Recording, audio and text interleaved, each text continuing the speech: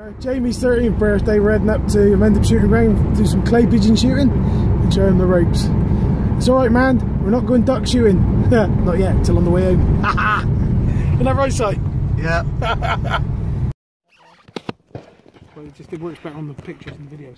So, right, do you remember how to do better it? off, No. Andy.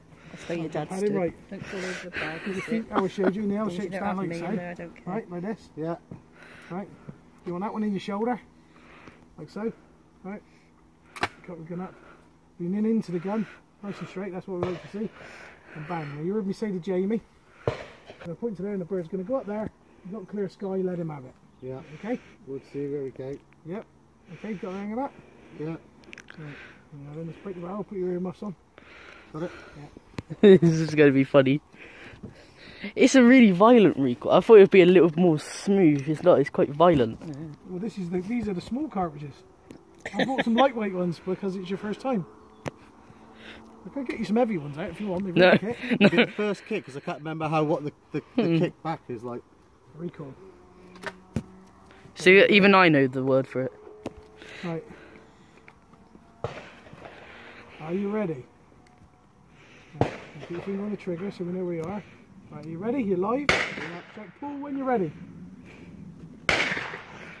Pull. Underneath. Right, ready? Got it, pull. Over the top. Over the top. Yeah, getting it. The car in a minute. Grab these. Right. So, cocking the gun up, like I showed you. Nick. Yeah, look at this. Just call onto video or something. Don't know. Here we are on young Jamie's birthday. You've had a fantastic day uh, here at the Mendip Shooting Ground that we come up here today. We're the Wild Adventures in the Ole Hedge Creeper. Coaching the Ole Hedge Creepers, where how'd you like it? I like it. Yeah. And what's your favourite gun? We've tried a little variety of guns today. We've tried over and unders and side by sides and semi autos. What's your favourite of the day? Um,